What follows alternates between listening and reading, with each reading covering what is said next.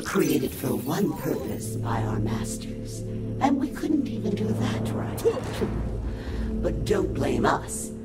When a cog breaks, point your finger at the artificer, not the cog. Are you a cog, Vault Hunter, or an artificer? Or both? Prove yourself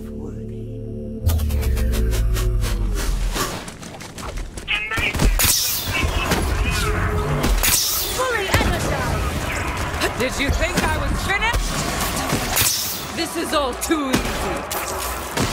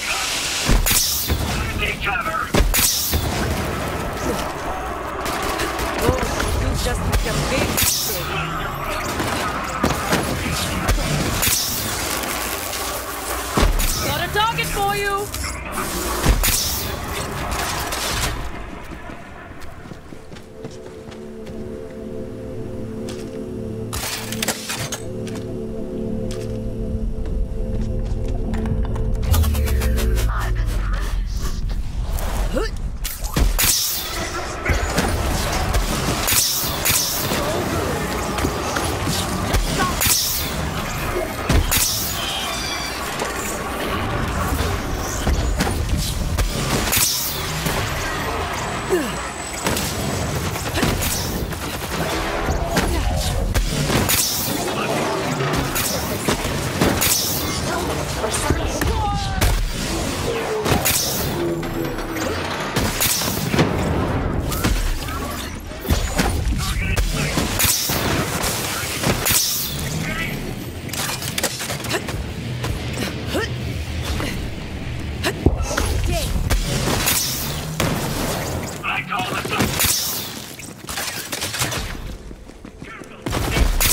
a freaking legend!